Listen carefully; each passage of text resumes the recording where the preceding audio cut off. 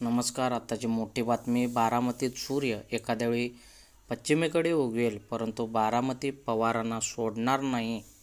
एवढं घट्ट नातं जे आहे ते बारामतीकरांचं पवारांशी जोडले गेलेलं आहे असं राष्ट्रवादीचे प्रदेशाध्यक्ष जयंत पाटील म्हणालेले आहेत.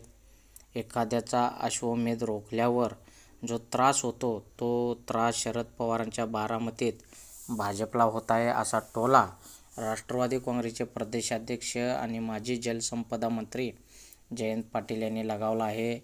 जयंत पाटील यांनी भाजपा नेत्यांच्या वक्तव्याचा खरपूस समाचार घेतला आहे. बारामतीमधील जनता कशी आहे याची माहिती आहे.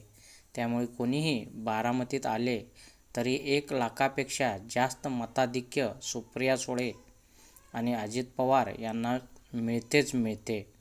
बारामतीत कोणता उमेदवार द्यायचा हे भाजपा ठरवेल. भाजपने सध्या बारामती आणि आमच्यावर लक्ष केंद्रित केलं आहे.